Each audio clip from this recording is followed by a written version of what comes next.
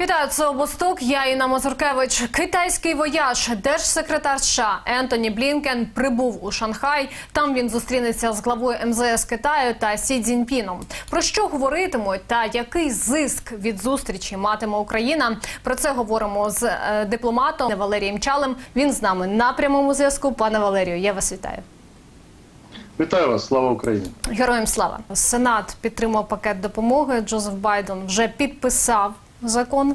От всі дуже радіють власне з цього приводу, бо це покращить ситуацію на фронті. Але питання наскільки довго цієї допомоги вистачить?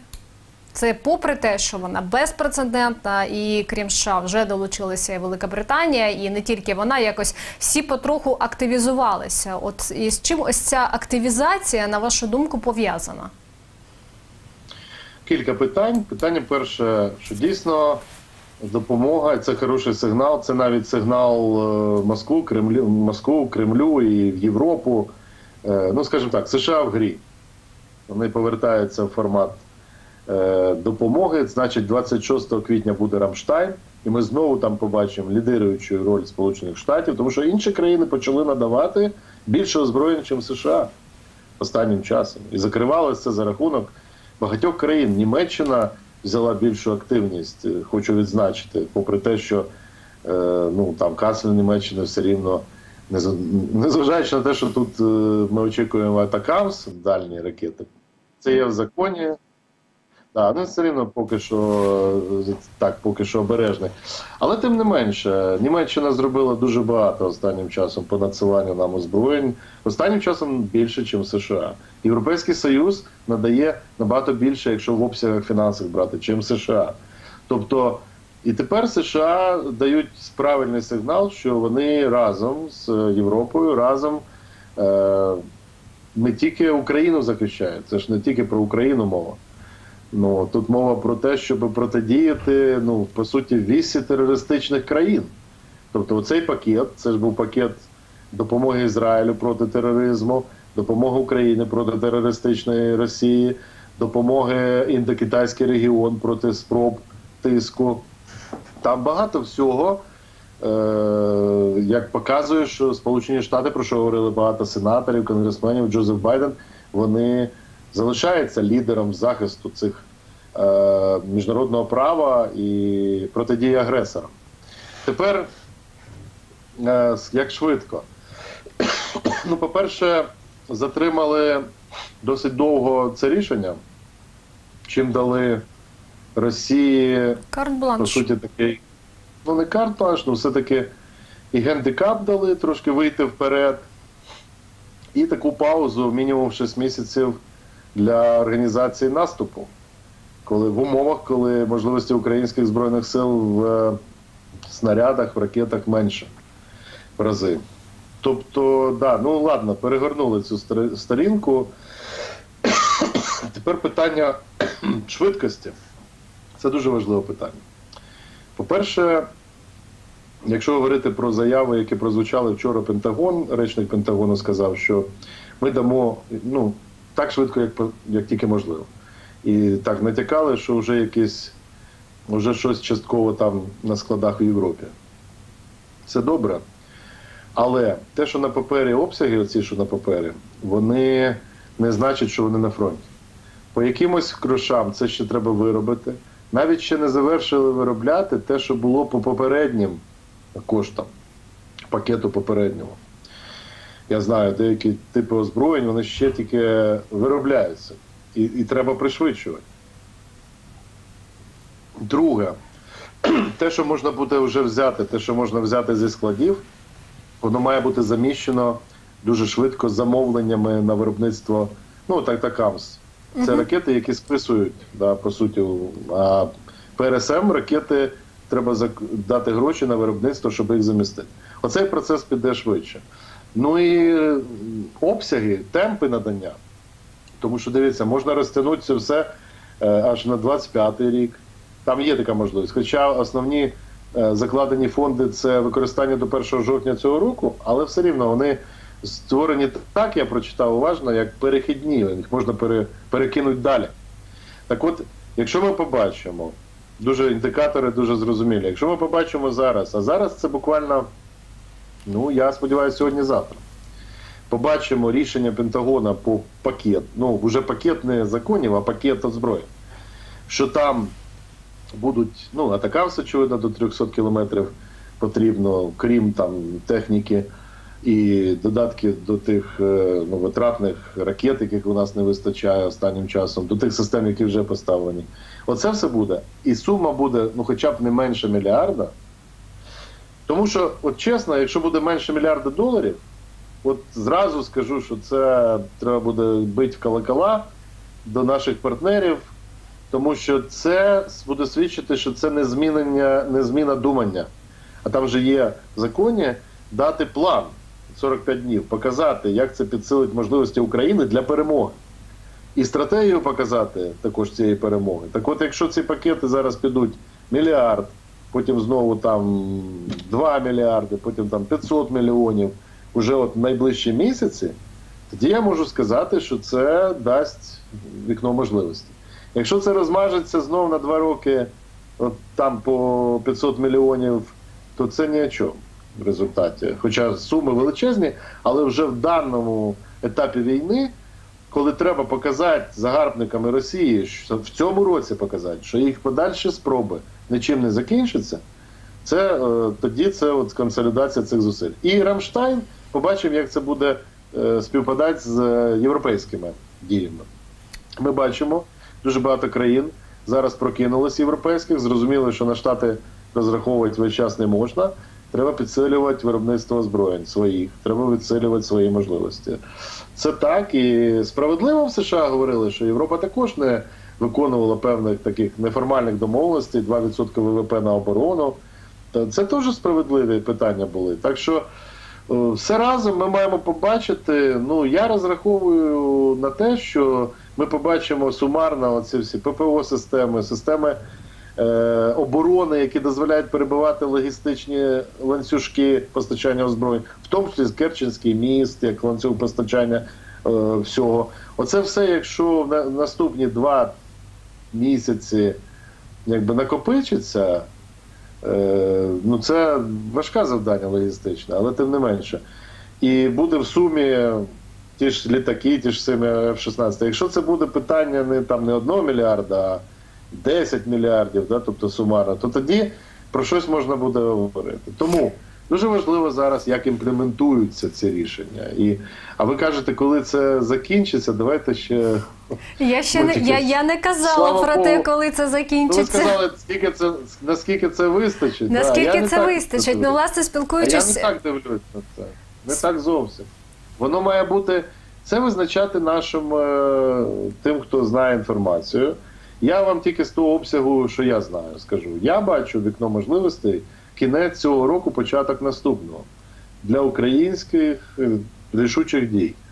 Далі е, Росія може налагодити інший тип економіки. Поліцейська країна авторитарна може перевести на такі економіку на рейки війни повністю. Да, це може збурювати їх там суспільство, але поліцейська країна може контролювати силовим способом там ситуацію. На відміну від України, яка демократична, і у нас працюють інші моделі. Тому я вважаю, що розтягувати цю історію неможливо. І все, що є, треба скористатися цим в найближчі, ну так скажемо, місяці. Тому що зараз ще оборона. І, на жаль, ця затримка у всьому вона призвела до того, що ми знаходимося зараз в дуже непростій, особливо на суходолі обороні.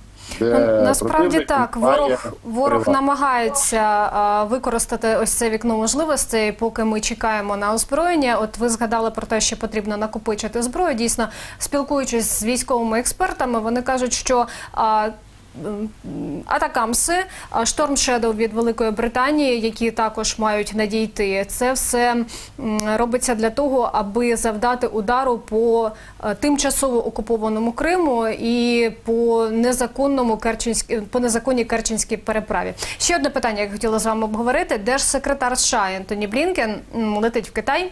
Точніше, він вже в Китаї. Які очікування в Україні за результатами цього візиту? Що це може для нас змінити? На жаль, нічого особливо не зміниться. Е, Очікування наші прості, щоб Китай зайняв збалансовану позицію. Тобто політична позиція Китаю вона на користь Росії. Це очевидно. Балансу тут немає. З моєї точки зору, це моя суб'єктивна точка зору. З точки зору офіційної, ми хочемо з Китаєм вести діалог. Ми хочемо знайти зміни позиції Китаю. І, звісно, нам точно е, в умовах порушення статуту ООН ну, Китай не, не повинен якимось чином допомагати агресору. Ну, з чим, власне, їде держсекретар, тому що у США є важелі впливу певні на такі дії. Санкційні, що вже зроблено, до речі, в цьому ж пакеті, в тому числі. Тому е, не тільки, не тільки США, і німецький канцлер їздив в Пекін, а потім буде візит е, очільника Китаю до Франції. От незабаром він відбудеться. Тобто, я думаю, що має бути таке, що ми очікуємо? Що США з Європою, ну, сімка, скажімо, або Мгм. сімка, або США з Європою скажуть е, Китаю, давайте вибирайте. Або, Росія, нашим, або, вашим, так? Да, або ми торгуємо і зупиняємо російську агресію, переводимо світ знову в нормальний, вигідний для нас всіх, і Китаю в тому числі формат, де Китай втрачає зараз дуже багато в торгівлі. Або ну тоді sorry, тоді ви демонструєте, що ви на тому боці. Тому це погана ситуація буде.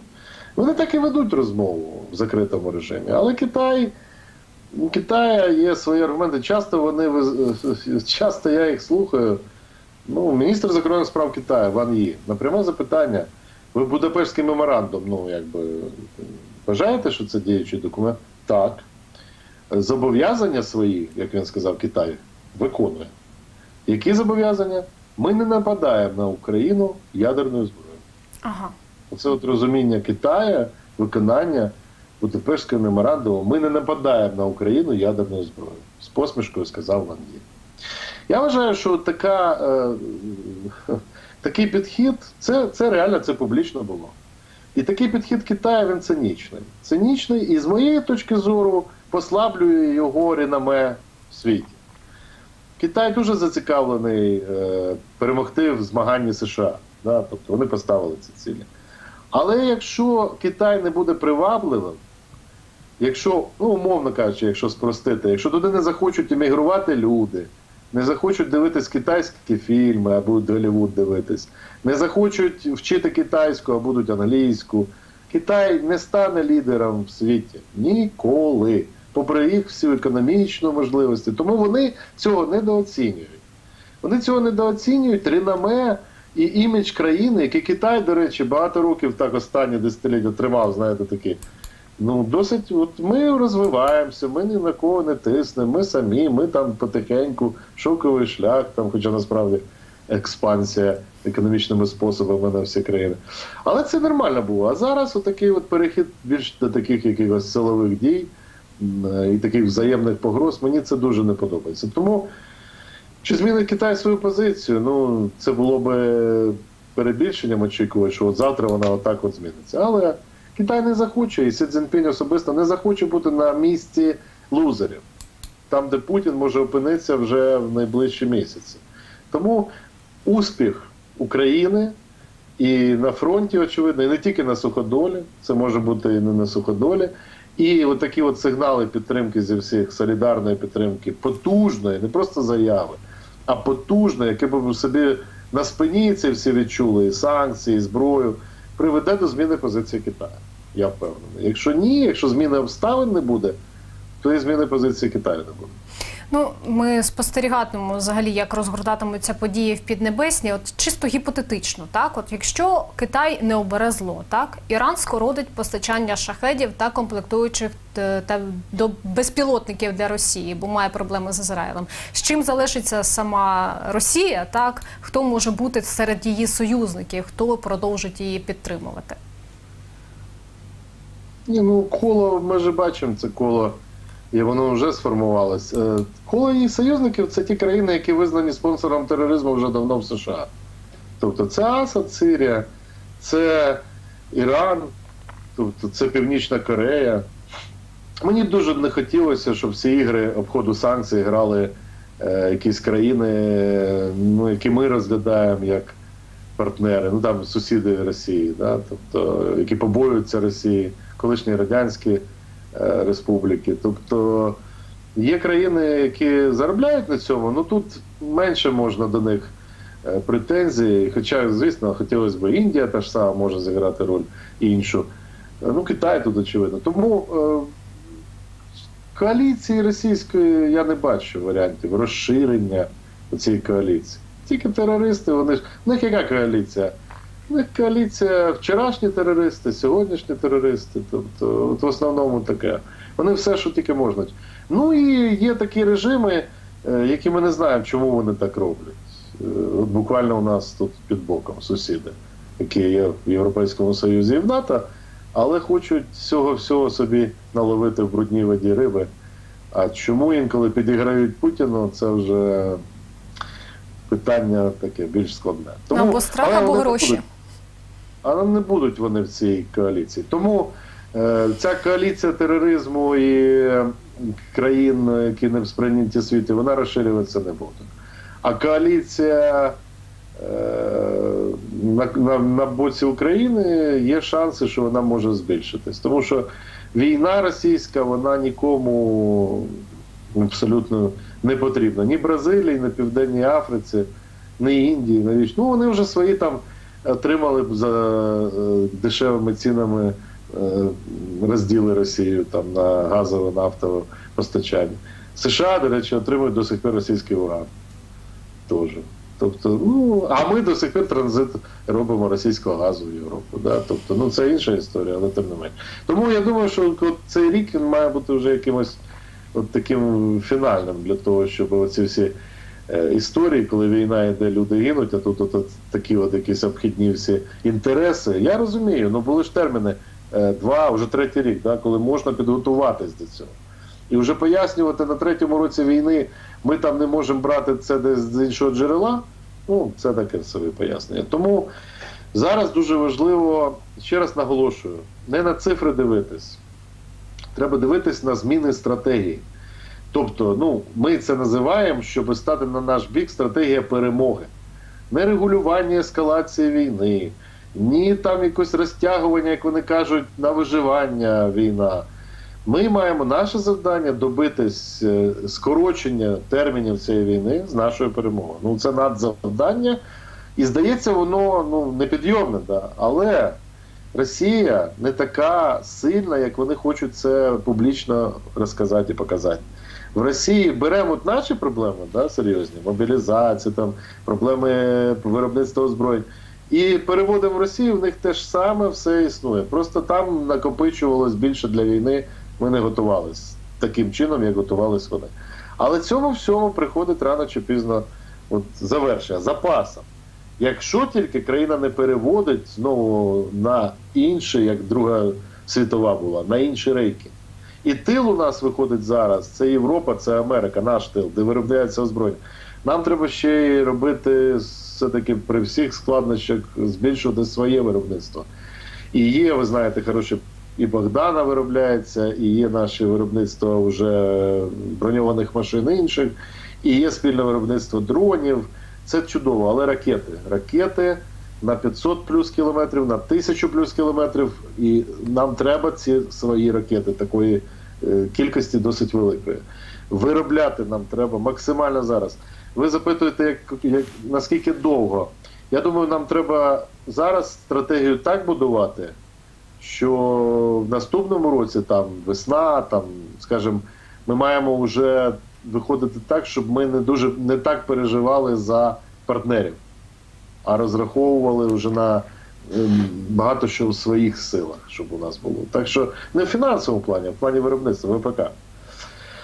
Так що, ну, поки так, е, і складно, але оці всі сигнали зі всіх сторін показують, що вікно можливостей в цьому році, не знаю коли, ну, у нас з'явиться. А всі ці надходження показують, що оборона буде підсилена і, і буде менше жертв з нашого боку. Власне, що треба в першу чергу закривати зброєю е, потужною, а не кількістю людей. на фронті в окопах. Ну, в нас немає такого високого мобілізаційного ресурсу, аби діяти так, як Росія. Пане Валерію, я вам дуже дякую за ваш час і цікаву розмову. Валерій Чалий, дипломат, екс-міністр закордонних справ України, був гостем обосток. На цьому ставимо крапку і побачимось.